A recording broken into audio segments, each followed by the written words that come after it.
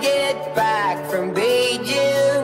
I gotta know, ooh, Molly, are you stuck in nostalgia? Like